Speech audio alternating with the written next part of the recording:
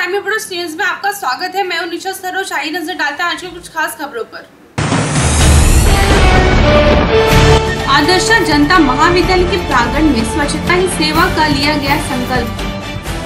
मिर्जापुर के अदलहार स्थानीय थाना क्षेत्र के आदर्श जनता महाविद्यालय के प्रांगण में स्वच्छता ही सेवा का संकल्प लिया गया और पॉलिथीन को बंद किए जाने को समाज का सकारात्मक हिस्सा भी बताया गया। महाविद्यालय के प्रबंधक दिलीप सिंह ने कहा कि पर्यावरण को प्रदूषित करने में पॉलिथीन का बहुत बड़ा हाथ है। पॉलिथीन के प्रयोग को रोकने के लिए हम सभी को संकल्प लेना होगा और यह वचन लेना होगा कि उसका पालन करेंगे। बाज़ार में सब्ज़ी की दुकानों में एवं मेडिकल स्टोरों पर खुलेआम पॉलिथीन का प्रयोग दुकानदार एवं मेडिकल स्टोर संचालन कर रहे हैं। समाज में लोगों की उदासीनता से पॉलीथीन का प्रयोग लोग धड़ल्ले से खुले आम कर रहे हैं। पॉलीथीन का प्रयोग रोकने के लिए अब समाज में जन जागरूकता लाने की ज़रूरत है। पॉलीथीन के प्रयोग से होने वाले पर्यावरणीय नुकसान के बारे में लोगों को बताएँगे। इस अवसर पर महाविद्यालय के डायरेक्टर रेणु बाला प्राचार्य प्रदीप शिक्षक संतोष, प्रदीप पाठक, संजय शिव पूजन अनिल, रविंद्र, अनीता, ज्योति गुप्ता सहित अन्य छात्र व छात्राएँ मौजूद रहे।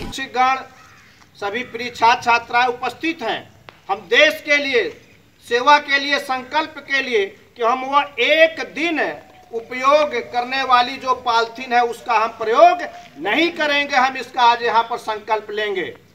इसी के साथ साथ जल संकट का, इसी के साथ साथ एक बहुत बड़ी समस्या, भारत पूरे विश्व में ऊपर के ग्रेडों में नहीं जा पा रहा है। जिसका एक कारण है जब विदेशी यहाँ दौड़े पर आते हैं और देश के अंदर जब गुजरते हैं और देखते हैं कि शहरों और गलियों में भारत में बहुत बड़ी गंदगी है। भारत में बहुत बड़ी गंदगी है, जिसको हमारे देश के यशस्वी प्रधानमंत्री नरेंद्र मोदी जी ने पूरे देश के अंदर एक बड़ा अभियान चलाया है, स्वच्छता का अभियान। उसका रिज़ल्ट परिणाम भी देखने को मिलने लगा है।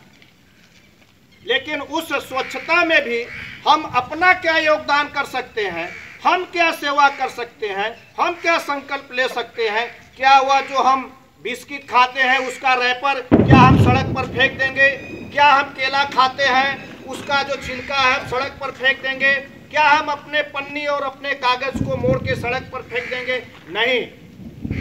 हमें आज संकल्प लेना है कि ऐसे भी जो छोटे छोटे थोड़े थोड़े हम जिसको कूड़ा समझते हैं और चलते रास्ते हम सड़क पर फेंक देते हैं, वह भी गलत है। देश की सेवा के, देश के विकास के लिए, देश की रैंकिंग विश्व में बढ़े, उसके लिए भी हम देश को पीछे करने का काम करते हैं, उसको हमें उचित मिर्जापुर से अनिश कुमार की एक रिपोर्ट।